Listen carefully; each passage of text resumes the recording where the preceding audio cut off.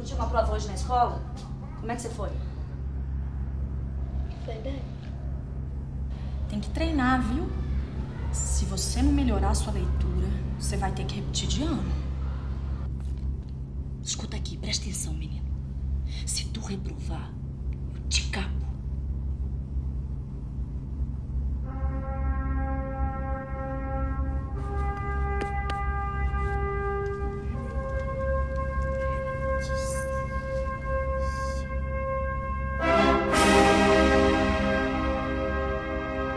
Tá lendo esse livro, filho? Eu tava.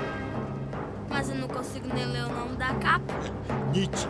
Foi ele que escreveu esse livro. Ixi, que amigo é esse? De onde ele é? Quem é a mãe dele? Eu não sei. Só sei que o nome dele é Nietzsche.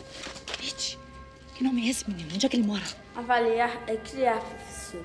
Sem avaliação, a existência seria oca.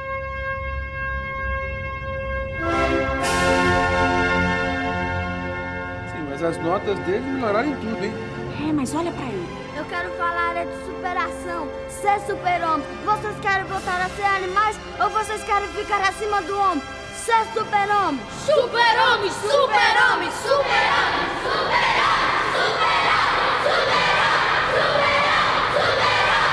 Ele não é mais um menino. Ele é uma dinamite.